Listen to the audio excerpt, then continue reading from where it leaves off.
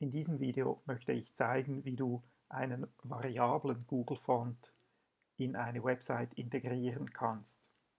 Ich bin hier auf fonts.google.com und sehe eine Auswahl von Fonts, die ich mit einem Häkchen hier auf Variable Fonts einschränken kann. Das hilft nicht besonders, weil ich sehe hier keine Vorschau der Eigenschaften, die variabel sind. Ähm, allgemein ist zu sagen, dass dieses ganze Interface hier nicht besonders hilfreich ist beim Umgang mit Variable Fonts. Ich kenne einen Font, der heißt Recursive, der geeignet ist für diese Tests. Und ich wähle den mal aus und sehe hier eine Vorschau. Es gibt hier äh, acht verschiedene Gewichte und unten gibt es einen Verweis auf eine variable Achse. Und zwar die Gewichtsachse von 300 bis 1000.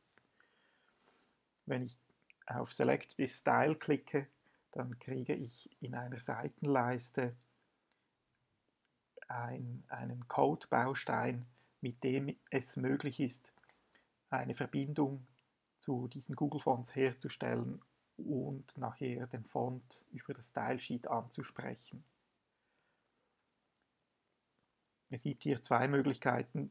Link ist ähm, HTML-Syntax und at import, zumindest der Teil zwischen diesen Style-Tags, das ist CSS-Syntax, das kann direkt in ein Stylesheet gepastet werden. Und dann hier unten steht dann wie effektiv für ein Element im Stylesheet, für ein HTML-Element, ähm, die Schriftfamilie eingestellt werden kann, so dass dieser Font zum Einsatz kommt, wenn dieses Element gerendert wird. Leider ist zu sagen, dass keiner dieser beiden, äh, keine dieser beiden Möglichkeiten wirklich gut funktioniert.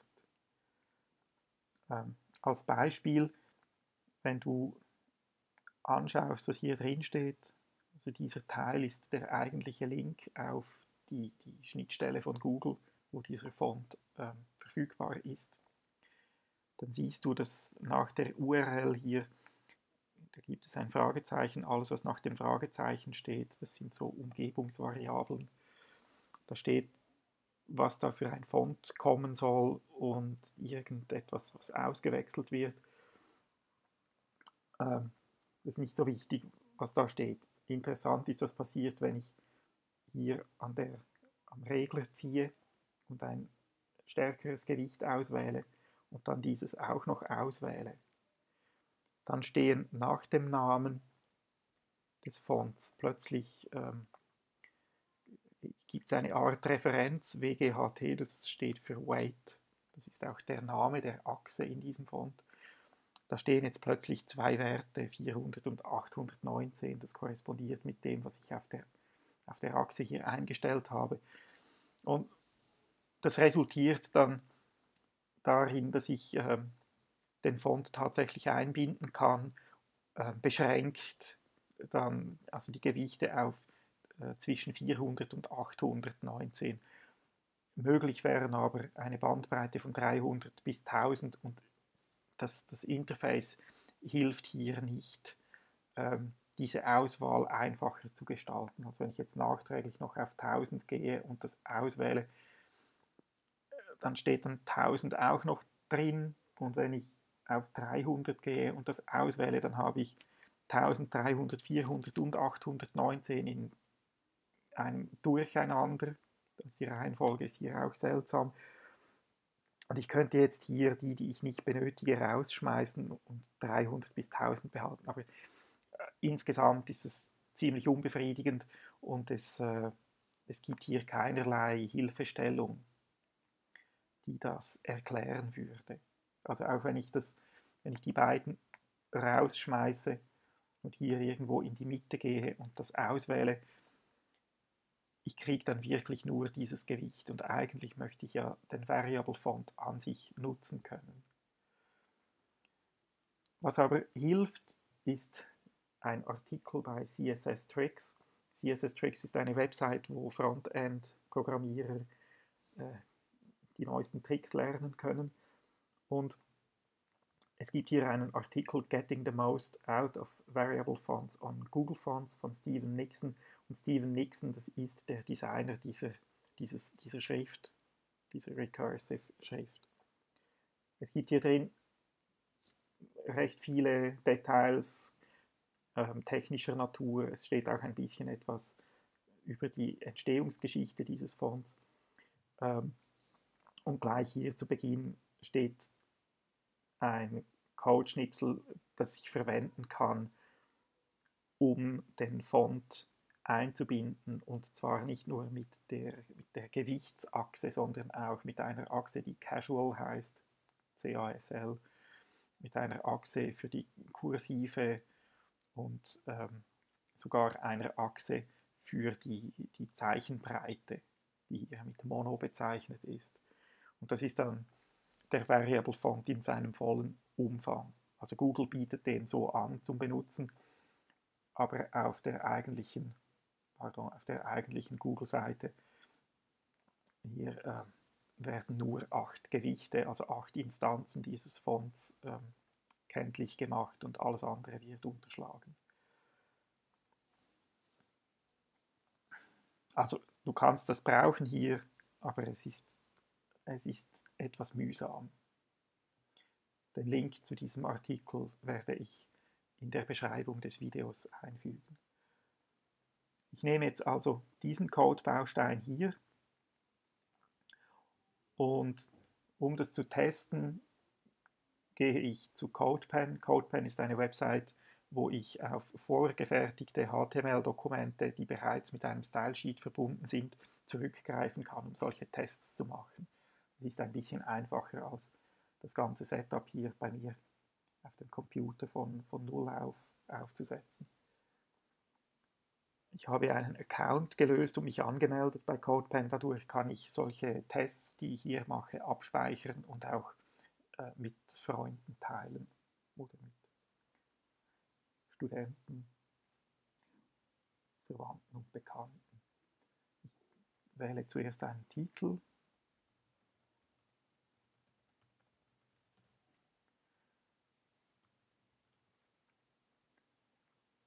Und speichere es noch ab. Sobald es abgespeichert ist, ändert sich hier oben die URL und ich sehe äh, mein Kürzel meines Benutzers und ein, ein Buchstabencode, der immer gleich bleibt und damit kann ich das auch teilen. Und jetzt schreibe ich zuerst den Namen eines Tags, zum Beispiel eine Überschrift. Mit der Tabulator-Taste kann ich das vervollständigen. Dann schreibe ich etwas Text.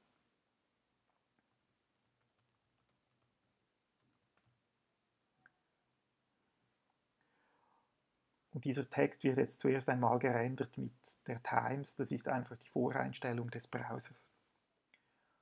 Das heißt, ich kann in CSS hier eine Regel schreiben für diese Überschrift und dann zwischen geschweiften Klammern die Eigenschaften, die zum Tragen kommen sollen, zum Beispiel eine größere Schriftgröße.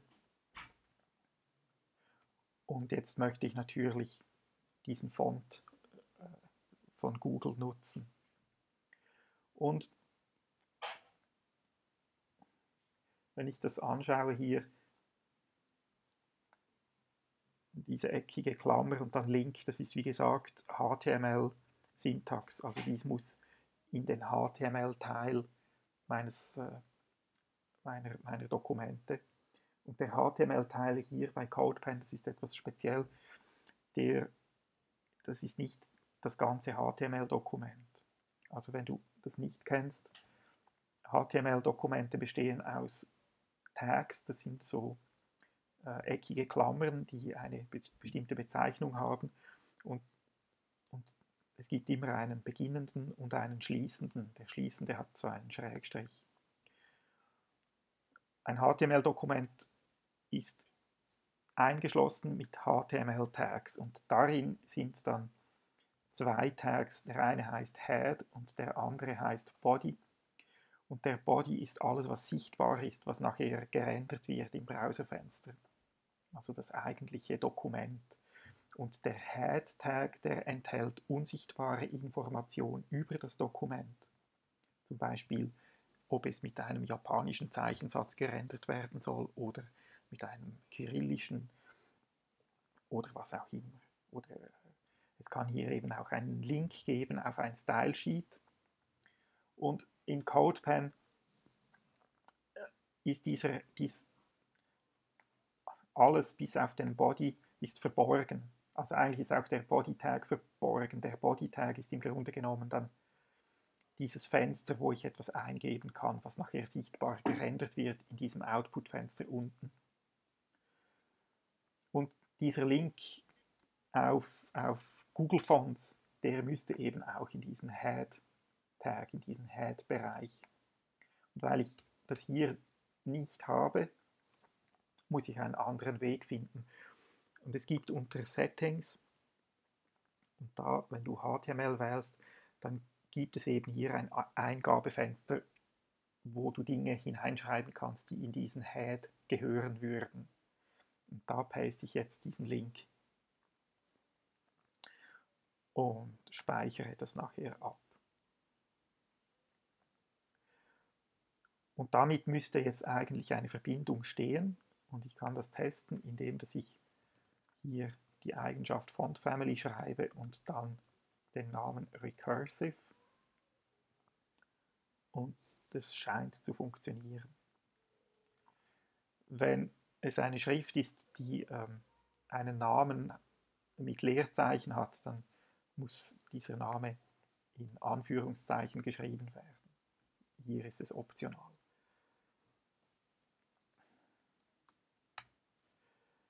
Und um zu sehen, ob jetzt äh, die Eigenschaften dieses Variable Fonts äh, eingestellt werden können, versuche ich es mit, zuerst mit dem Schriftgewicht und ich schreibe gibt zwei Möglichkeiten, das zu tun. Zuerst probiere ich die generische Variante, das heißt Font Variation Settings. Du siehst, dass äh, CodePen mir einen Vorschlag macht hier. Wenn das bei dir nicht so ist, dann kannst du das einstellen. Die entsprechenden Einstellungen findest du oben rechts unter dem, äh, unter dem Button mit deinem User-Symbol. Äh, Font Variation Settings und der Wert hier ist der Name der entsprechenden Achse. Das ist hier WGHT, es sind immer vier Buchstabenkürzel und dann ein Wert. Hier sind es, glaube ich, 300 bis äh, 900 oder 300 bis 1000. Und dann, um abzuschließen, einen Doppelpunkt. Bei CSS braucht es nach jeder Zeile also vor jedem Zeilenwechsel einen Doppelpunkt, sonst zieht CSS die Buchstaben zusammen und dann gibt es Fehler. Also 300 scheint zu funktionieren, 1000 scheint auch zu funktionieren. Also ich kann jetzt hier auf einer, auf einer Bandbreite zwischen 300 und 1000 ähm, das Schriftgewicht einstellen. Und das ist nicht unbedingt nötig, das so zu schreiben. Es gibt eine explizite CSS-Eigenschaft namens Font Weight, wo du das ebenfalls einstellen kannst.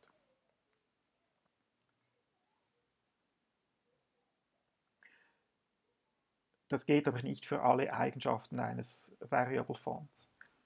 Die Gewichtsachse, die ist einfach so weit verbreitet, das ist so normal und standardisiert, dass es die gibt in einer Schrift, dass die Browser so eingestellt sind, dass automatisch diese Achse auf, sich auf Fontweight übertragen lässt.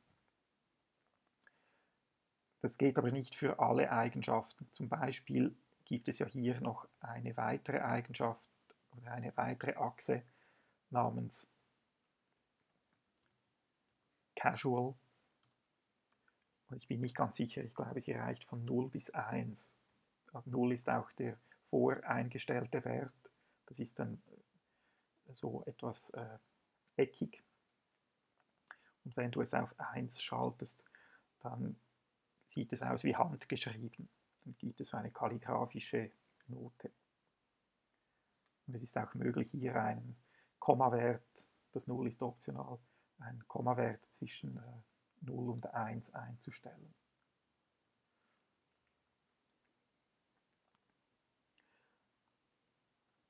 Also wenn, wenn es Eigenschaften eines Variable Fonts sind, die nicht so ähm, äh, standardisiert sind wie Zeichenbreite, das wäre Font Stretch, oder das Schriftgewicht, Font Weight, dann ist es nötig, diese Eigenschaft Font Variation Settings zu verwenden. Es ist übrigens auch möglich, hier mehrere Werte anzugeben. Also ich kann einerseits einstellen, dass diese Casual-Variante aktiviert werden soll und gleichzeitig kann ich auch das Schriftgewicht angeben. Also ich muss jeweils in Anführungszeichen den Namen der Achse angeben und dann einen Zahlenwert. Und wenn es mehrere sind, dann ein Komma und dann wieder den Namen der Achse in Anführungszeichen und wieder einen Zahlenwert. Und also du siehst sowohl das Schriftgewicht als auch diese äh, kalligraphische Qualität lässt sich hier gleichzeitig einstellen.